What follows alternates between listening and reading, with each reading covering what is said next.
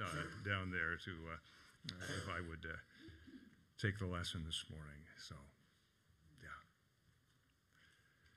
Let's start with a word of prayer. kind Father, excuse me. As we have the joy of opening your word together, we always start with prayer. Because only then the Holy Spirit can work in our hearts and in our lives and through our lives. And I just want to thank you, and we all want to thank you for that presence this morning. In Christ's name, amen. Well, this is the 14th week on four pages. At the same time, I think we could learn a whole lot. We could probably spend a year on those four pages by taking a look and comparing it around. The time, uh, where are the young people? Ron, can we help you?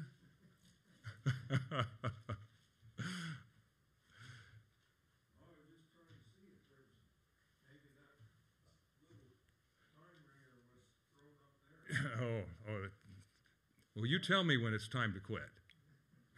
All right. All right. 72 AD. and Nero was the emperor of Rome. And it was a time of mayhem, time of murder, time of mandates. And Paul was in prison been there for two years. And we have this book, Ephesians, that he wrote to the people of Ephesus. What other books did he write when he was in? Remember? He wrote Colossians. He wrote Philippians. And he also wrote uh, to Philemon. So he had wrote, written four different what are actually circulars. If you go to Colossians chapter 4, you find he says, Send this to the church of who? Laodicea. Okay, that's us. And that's what they're all meant as circular letters. That's how important they are to us today. And that's one of the reasons the authors of this lesson decided yes, even four pages are worthwhile to study for 14 weeks. Uh, 1600 years later, Alexander the Seventh was Pope of the Catholic Church. He was actually a member of the Italian crime family, and through nepotism, that means hiring family, he probably got rid of most of the budget, most of the treasury of the Catholic Church. And it was a time of mayhem, murder, mandates, and uh, John Bunyan was in jail, like Paul was, and he wrote The Pilgrim's Progress, which, as Ellen White pointed out, next to the Bible was her most recommended book. I would say the Bible, Ellen White's works, and John Bunyan's Pilgrim Progress, because it is very effective in helping us understand again, from a different perspective, what Paul here in Ephesians is talking about. Well, who was the one that followed up Paul in Ephesians? Do you remember? Hmm? I mean, not from your presence there. Pardon?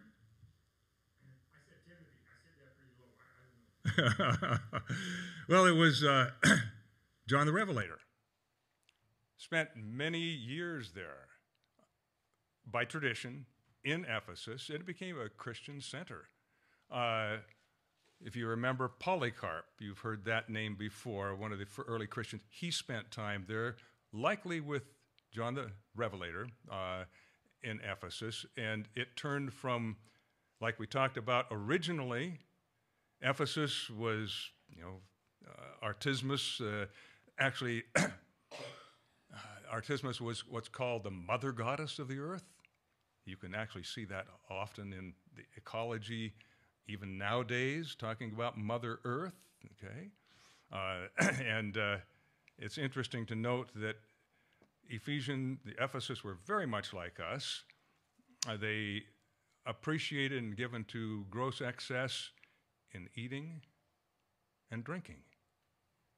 And we're not a whole lot different.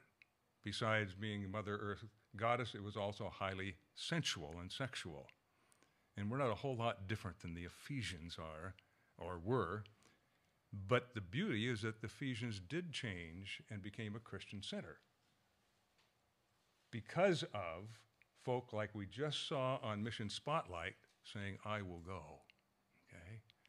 I'll take the message of God's love to other folk that really are not knowledgeable of that information. well, what are some of the distinctive, uh, well, yeah, and maybe distinctive would be a good way of saying it, understanding of God that Seventh day Adventists have?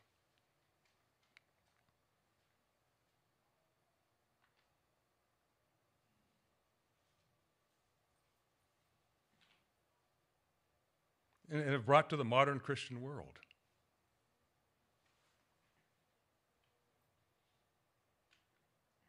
We think of the seventh day. Okay? Anything else that's not commonly believed otherwise? Pardon? Yeah, we have that. We have state of the dead, we have uh, things such as health. We have things such as the sanctuary, which uh, I think most of you or many of you are aware. They just had the sanctuary uh, example in Libby, and it was you know, over 1,600 people visited uh, and 300 interests. So it's a very important I will go help. We could have it here uh, in the future. Pardon? Who sponsors it? It's a that was sponsored by the Seventh Adventist Church in Libby, but it's uh, uh, the actual folk who do it. I'd have to find their address and number. I don't know. I, uh, do you know, Pastor? Yeah, they're, yeah, they're a long ways away. As I, I they don't come out here all the time, but yeah, they do travel frequently. They've been going for decades, uh, so it's yeah.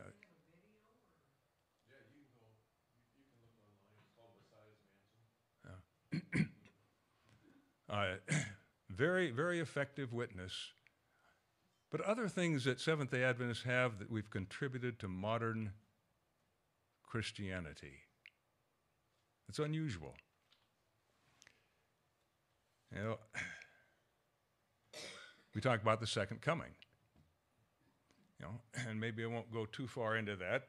Actually, the Bible never says second coming. It's interesting to know. That's works if you're a lumper.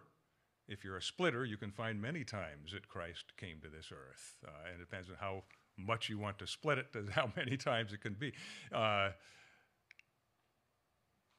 really, the most distinctive thing is an overarching concept we found in Ephesians.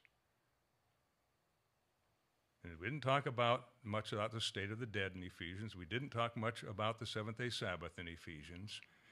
Didn't talk much about the state of the dead in Ephesians.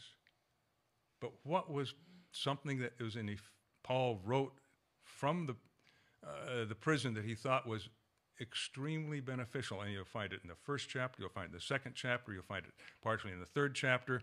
Uh, it's actually spread throughout Scripture, but Paul brought it repeatedly there in the book of Ephesians. Unity, well, certainly that's an important factor. Uh, uh, nearly all, what would you say, uh, thinking persons uh, uh, have considered that as a problem, whether it's between brothers and sisters, whether it's between marital, whether it's you know, within a community, whether it's in a nation. Uh, how do we get unity? Okay. Do we have to have uniformity with it? Paul was working with that and gave the only valid way of finding unity without uniformity. But there's something more unusual in Ephesians that Paul shared with us repeatedly. And I know you know it because we studied it last week.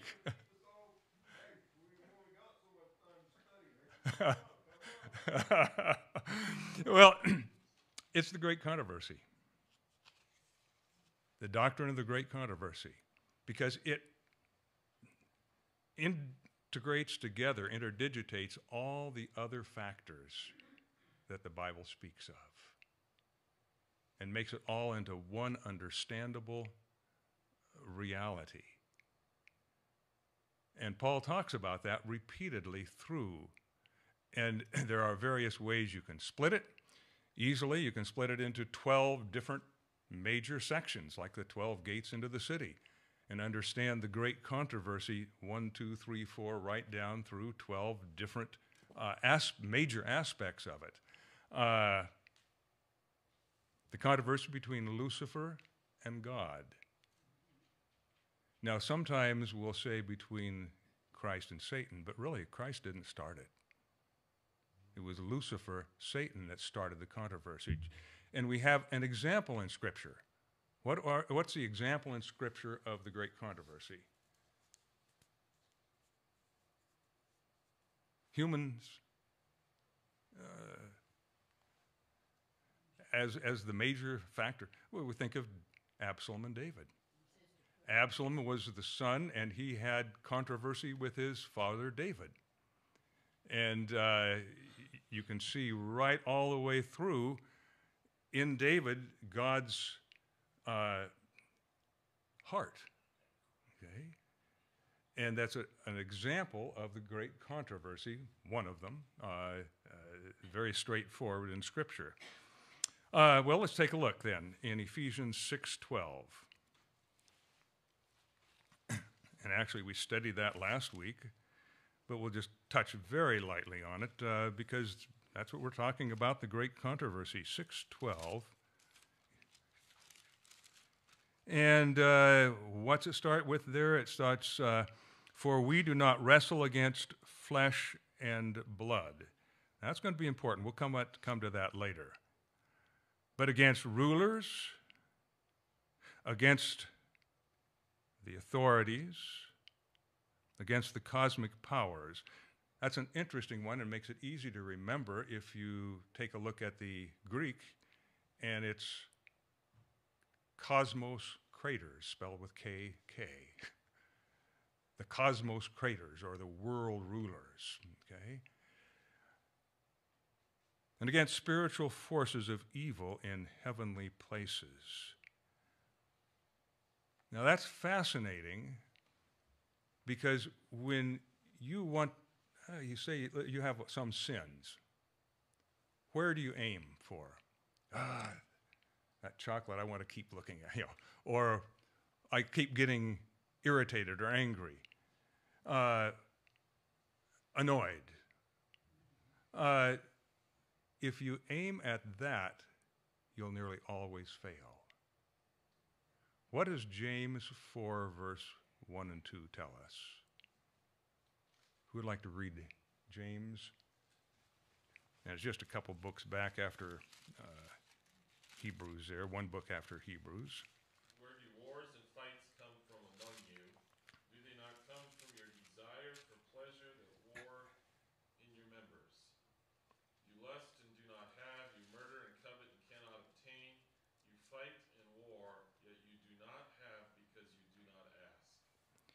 What do we learn from that?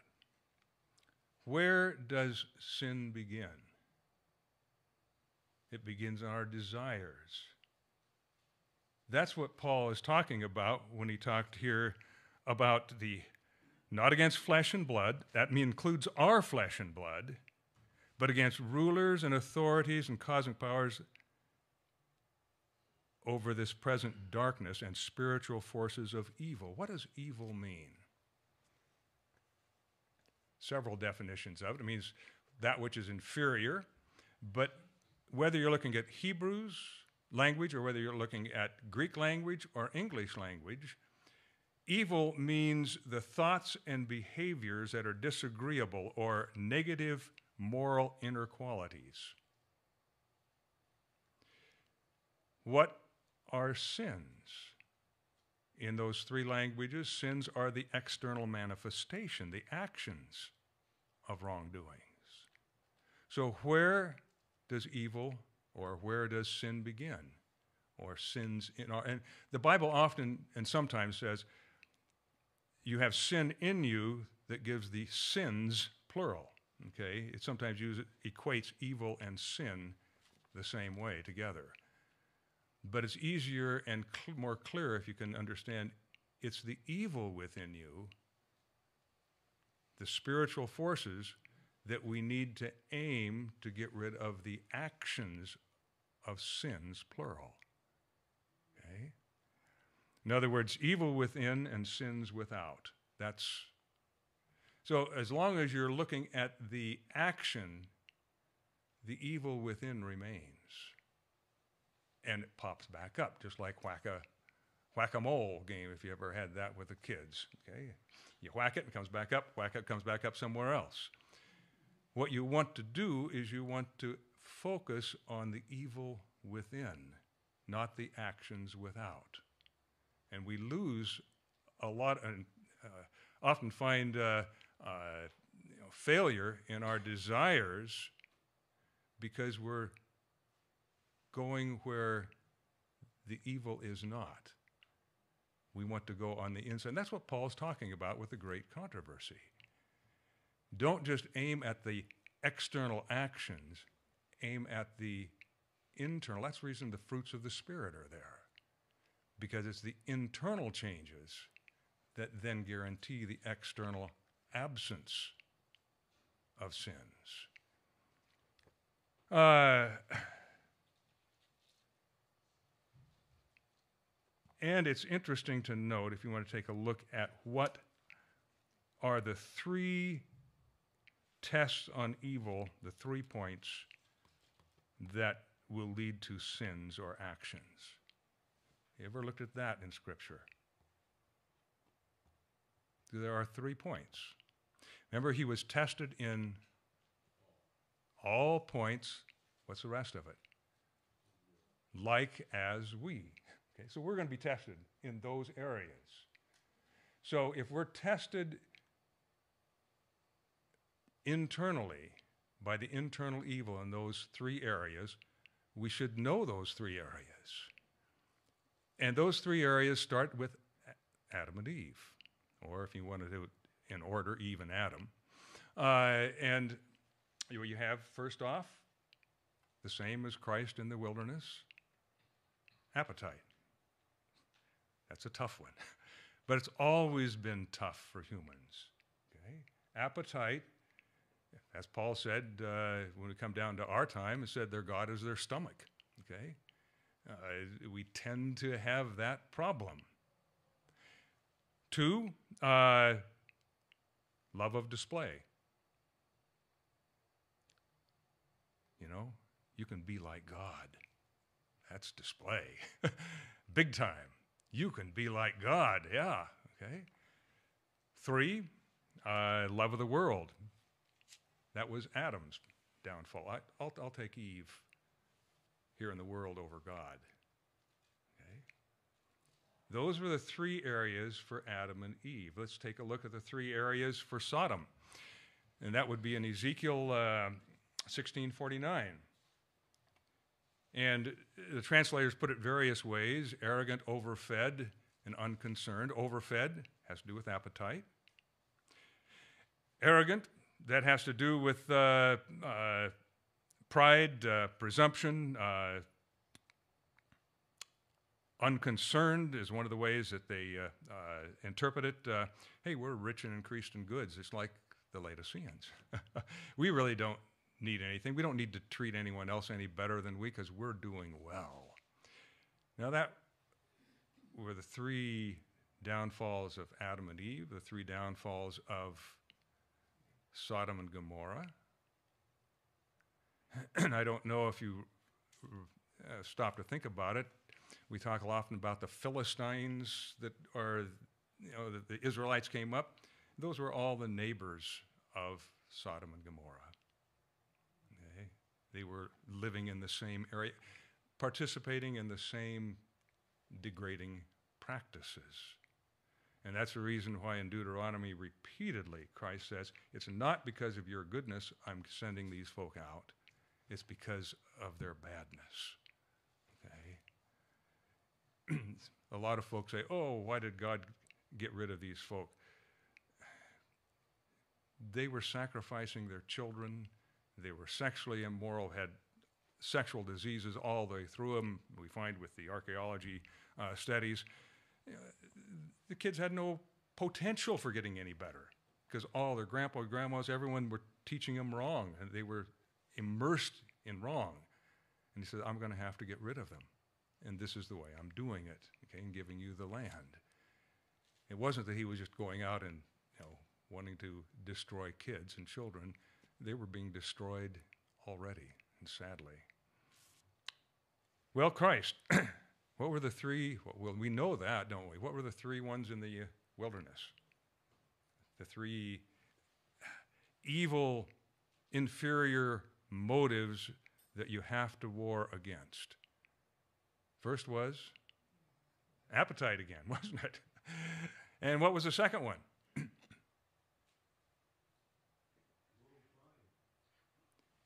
Yeah, it had you jump off this temple and everyone's going to love you. You know, they'll see what you do, and yeah, there's presumption that you're going to be taken care of. Uh, pride and presumption go together. Okay. Uh, so we're tempted in diet, we're tempted in pride, and uh, then Christ was uh, third one, just like Adam, love of the world, like Adam chose Eve over God. And hey, all these kingdoms of the world, they can be yours. Okay. so those three evils internally, but how about us? We're another group. Are we overfed? Doesn't take a long to take a look around at the uh, around us. And that's why Paul said their God is their stomach. Okay. Uh, let's take a look at another one. That's uh, love of display. Sports, dress, cars. Okay. Do we have love of display around us? it's, it's everywhere around us. How many toys do you have? Do you have the biggest toy? Then you have love of the world. Do we have that around us? Do we have greed? Do we have sensuality? Uh, and that leads to being unconcerned. And yeah, I don't have to be concerned. I have a big bank account. We're seeing that all through the world right now uh, as the world degrades. Okay, I can stand comfortably because I got a bigger bank account now. Uh, the same three. Not that we focus on the external actions. Oh, we got to get rid of our bank account. It's changing the heart, and that's what God was saying to the rich young ruler. You, your heart needs to be changed. And yes, in doing that, you'll get rid of your bank account, and you're going to find greater riches in my love than you ever had financially with the bank account.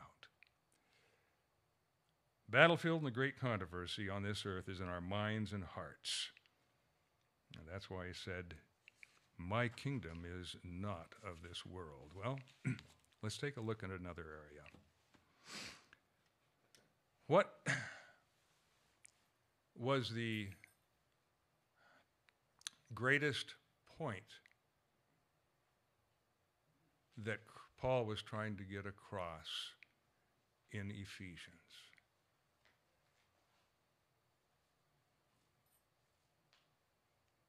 We've studied 14 weeks now. We got to have some good ideas of not just specifics, but you know, general understanding of what's happening. What, what, what's he trying? How many times do you think Christ, him or himself, was mentioned in the book of Ephesians? I mean, it didn't say anything about his the cross. Didn't say much about, uh, about the seventh day Sabbath.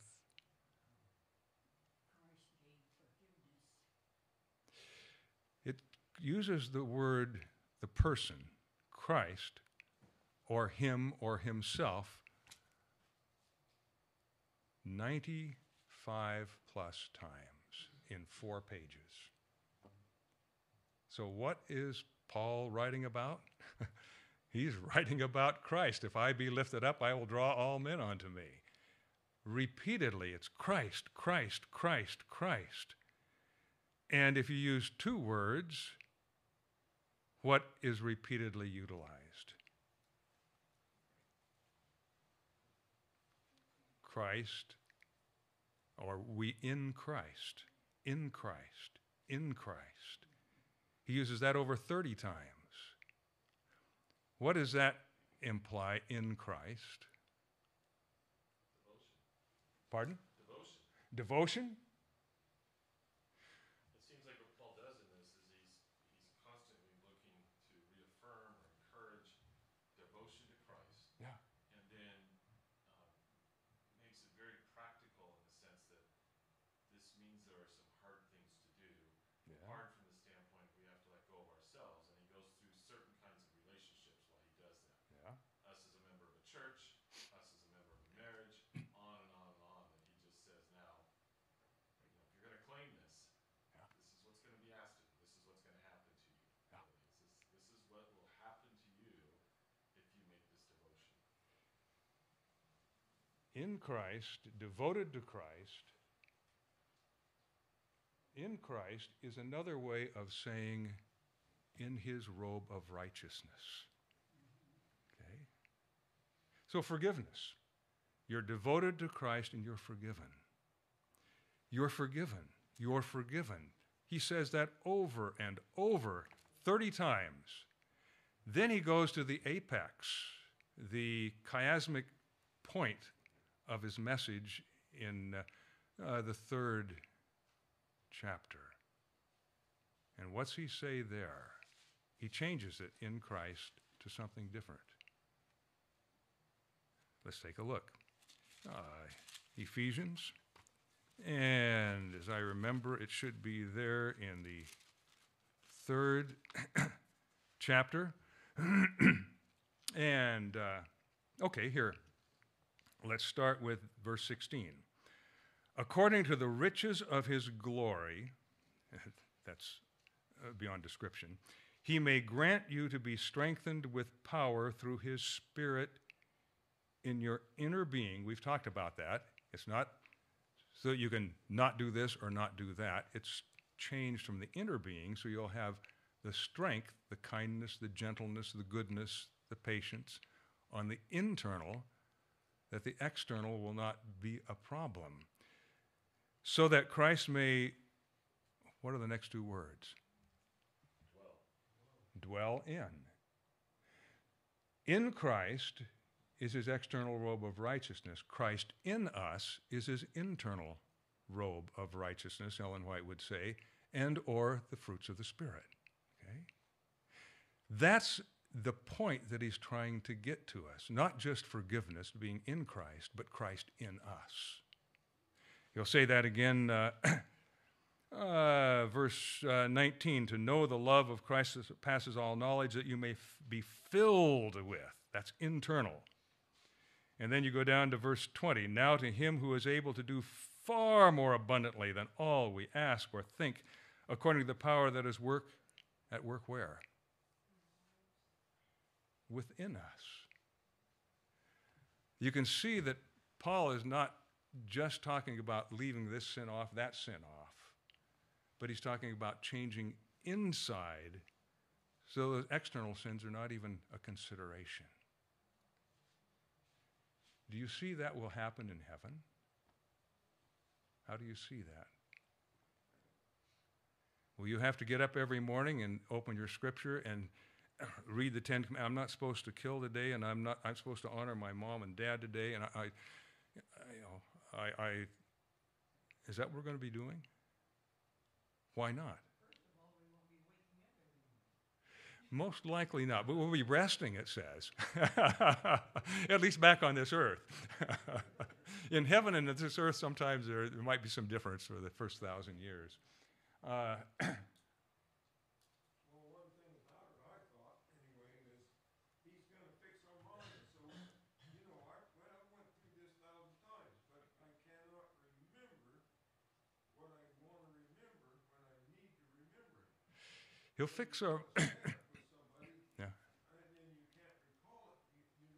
can't say it. Yeah. What we really wants to change is our character from the inside. And so, as the angels, when they Lucifer first started uh, the rebellion, the angels didn't even know there was a law of God. Why? Because they're not looking at the periphery. Do not steal from your neighbor. They wouldn't do anything other than help their neighbor, because there's a uh, inside they would never even think about that. It's that inside change that Paul is talking about, not just the outside actions. We often deal with Adventists, as we taught, deal with other folk as we are working with them.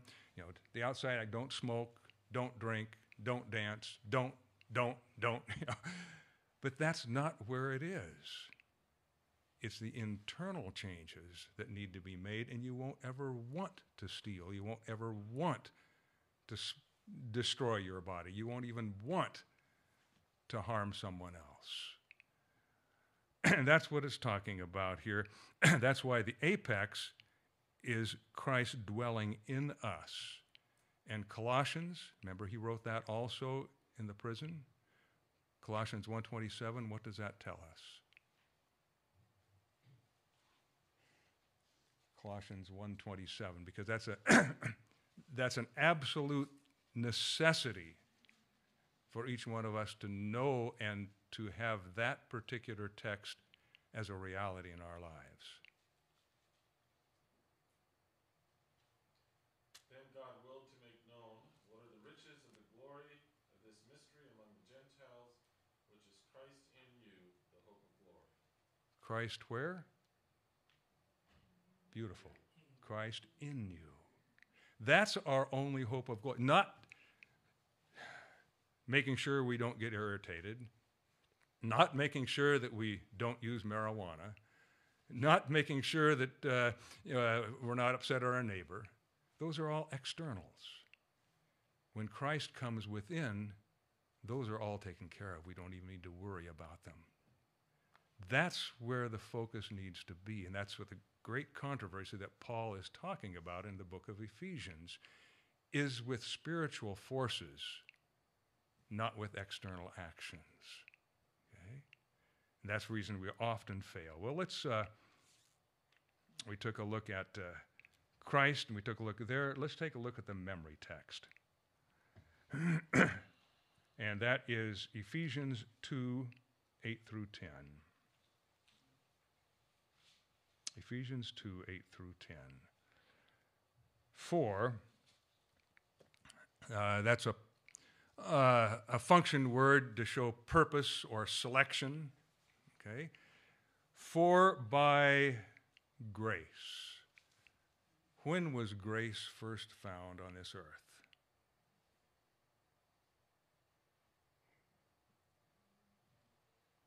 Well, when God said, Adam, where are you? That was a beautiful grace, but even before that, he created this world. It was Luke 3:38 that says Adam the son of God. Did Adam have anything to do with becoming the son of God? Did he earn it? was it something he deserved? How about you when you were born? Uh, did you deserve to be born? Had you done something to be able to have that privilege and have the privilege of a mother to change your diapers. It happens.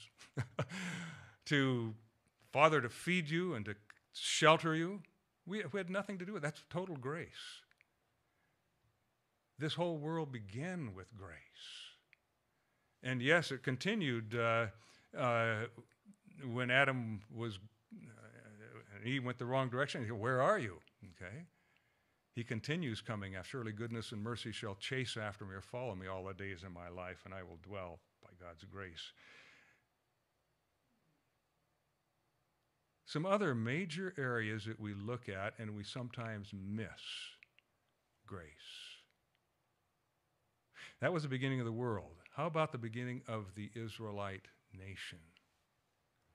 Did they deserve any of the things that occurred while they were in Egypt to bring them out of Egypt? they had done nothing to deserve any of that. And so, you, I hope you've looked and noticed in Exodus 20, uh, and uh, we often say Ten Commandments, uh, but without the preliminary, it becomes a lot more meaningless. Verse 2 of 20 I am the Lord your God who brought you out of the land of Egypt, out of the land of slavery. That was grace. Deuteronomy 5 says exactly the same thing as it repeats the Ten Commandments. What is Egypt symbolic of? Slavery to sin. Okay? Our existence began with grace. Israel's nation, as a nation, people, Hebrew at that point, began as grace. Uh, for by grace, it says, you have been saved. Does that mean pretty soon he's going to come and take us home?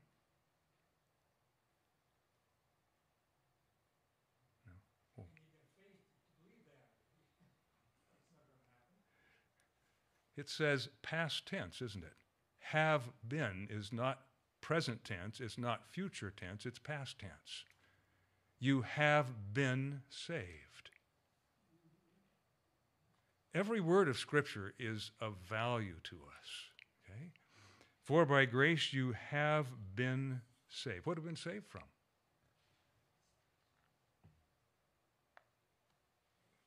Pardon? Well, ultimately, but have been is past tense.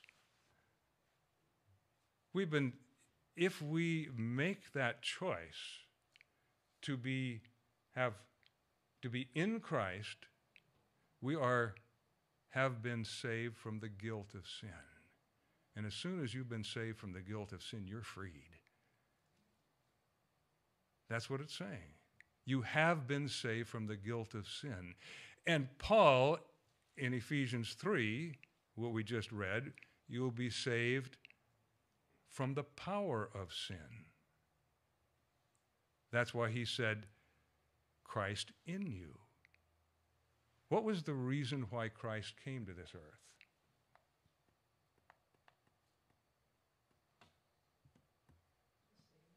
Pardon? Yeah, and how is he going to do that? What did Genesis 126 tell us we were created in his likeness. We turned away from that likeness. And here you have been saved not only from the and the reason why Christ came was to put his character back into man. We were created in the image of God. We went away and lost that image, and he wants to recreate that image, which is his character, back inside of us. That's why the apex of Paul in Ephesians chapter 3 has to do with Christ in us. Because we can't do it of our own, of our own selves, we can do nothing. But I can do all things through Christ who strengthens me. Nevertheless, I live not I, but Christ who lives in me. That's where the spiritual battle is on the inside and making sure that Christ is living in you, And that's what Paul was talking about here. Uh, we have been saved from the guilt and the power of sin through faith. That's a whole nother subject we could talk about. And that not of yourselves. What's that remind of you in Scripture? Israelites at the foot of Mount Sinai, chapter 19. Everything the Lord says, we will do. Not of yourselves, you won't. If they could have just come up with the reality, Lord, we can't. You know, we've been in this slavery of sin for too long. You know, help us, Lord. We, there'd have been a totally different way of seeing the Hebrew nation or the functioning of the Hebrew nation. And that not of yourselves. In other words, it's not a slavish uh, authoritarianism, not a works trip, like the first part of Isaiah 58 talks about. It's not that. It's not not doing this, not doing that, not doing the other. That's not how you're saved. And we need that information as Seventh day Adventists as much as any of the rest of our Protestant brothers and sisters. Uh, and that not of yourselves, it is the gift. A gift is always a loss to somebody and a gain for someone else. Who is it a loss to?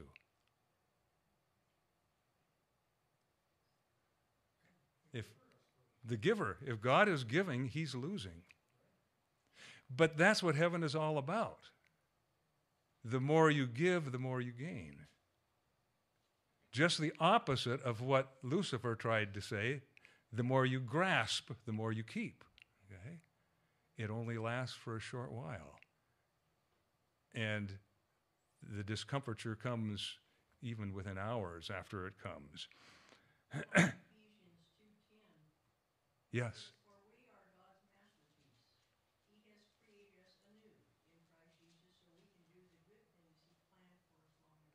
Yeah.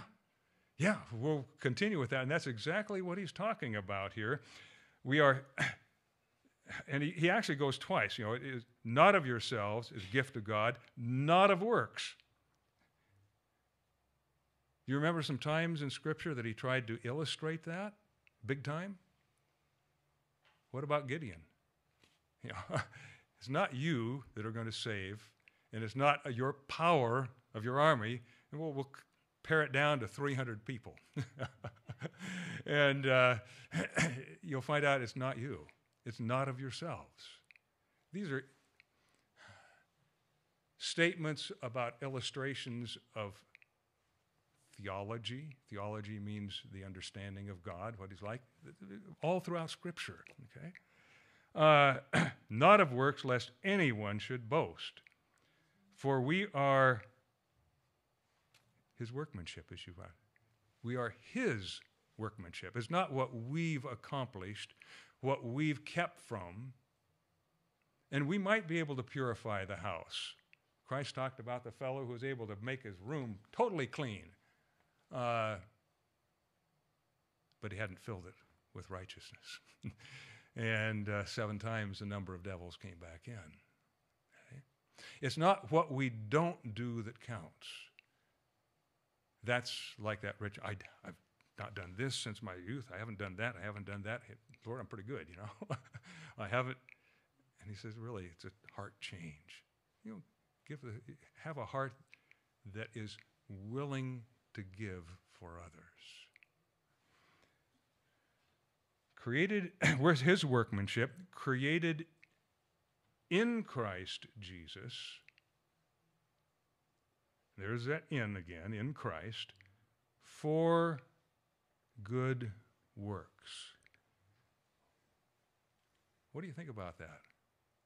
You're created for good works.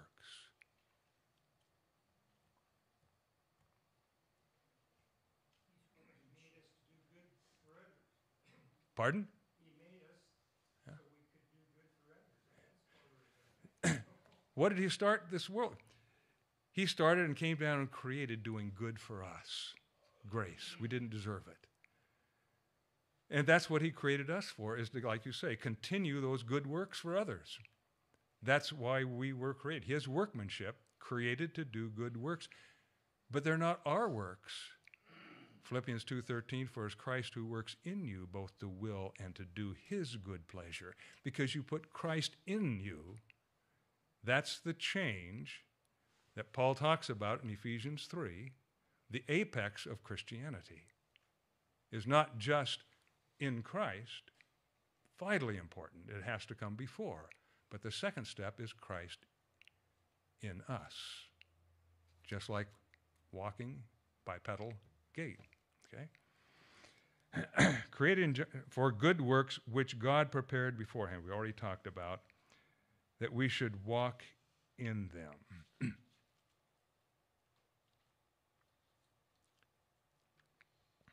what are those good works? Those good works are, pardon? Sharing Him. Selfless. I'm not looking oh, I don't want to go up to that door, or I don't want to speak to that uh, uh, grocery clerk. Okay, uh, yeah, they might think I'm kind of weird if I, you know, uh, talk about God with them. Share it, okay? Share it. Uh, the uh, selfless love is revealed only by selfless actions.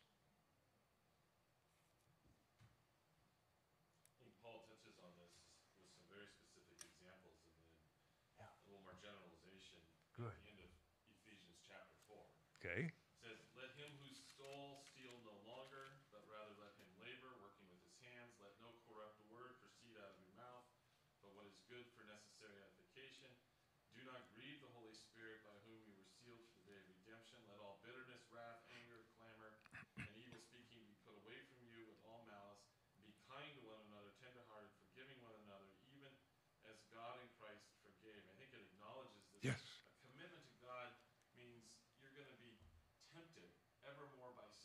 Yeah. Um, and don't do these things.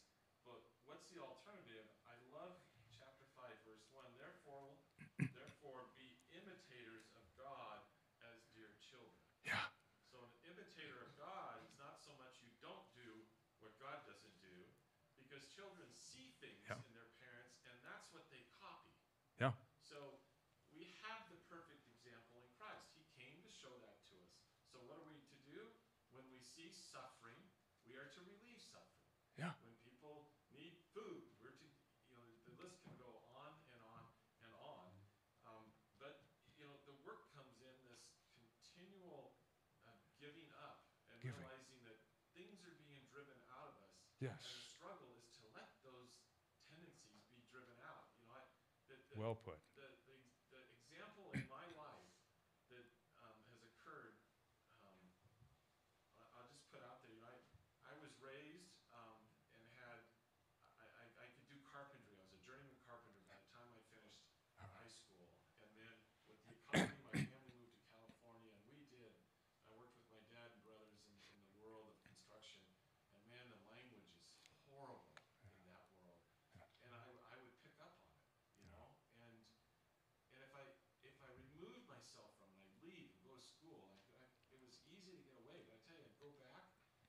Starts to sneak in really easy in not very much time at all. Yeah.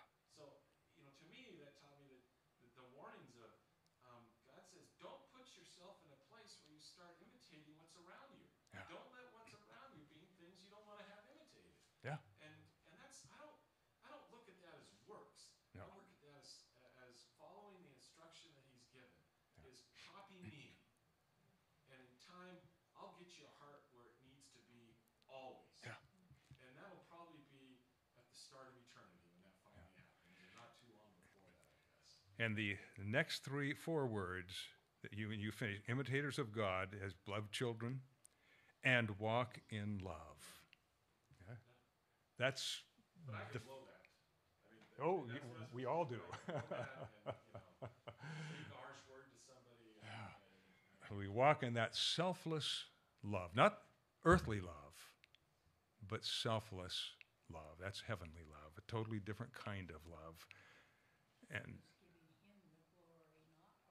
yeah, yeah, You know, it's, become very clear to me over time that there are, very different personalities among people. And, Yeah. and I think scripture's written in a way to be able to help all those personalities, right? yes, As I look at Ephesians, um, for the person that beats up on themselves Yeah. when they don't do things just right. And there are people that do that no matter what. yeah, yeah, And, and you can read Ephesians if you're one of those and realize, you know, I, I don't have to beat myself up because I didn't get this right. What I have to do is realize that God knew that about me. Yeah. And He's going to be with me to work through that. Um, continually. but that, but that it's real. And, and here's the circumstances in life that I'm going to talk about when I'm sitting in prison this time, because I'm going to pick some of them. And it's going to be about your church. It's going to be about your marriage. It's just going to go down this row of really big relationships that you have that you're going to blow at times. But I'm going to tell you a point on about what to watch out for, what to imitate, what to do, so those can be um, loving relationships like like I love you. And that's the bottom line. As you mentioned, unity, loving relationships. That's what he's looking for. Selfless, loving relationships. It starts from the inside, is not what you're doing on the outside. Uh, that we should walk in them. Created, it says here, created in Christ Jesus. I think we could probably also say recreated in Christ Jesus. Genesis 1:26, make man in our image. Christ came to recreate us into his image. That's internal, of which the external is only the manifestation of that internal. And I know you don't have the beeper yet. All right. Let's bow our heads, kind Father. Thank you so much for giving us, through Paul, instructions from your heart. And may they come, dear Father, and be recognized, appreciated, and applied in each one of our hearts and through our lives to all those around us. The works that you have prepared for us, the good works, Christ in us, becoming the hope of glory. Thank you in Christ's precious name. Amen.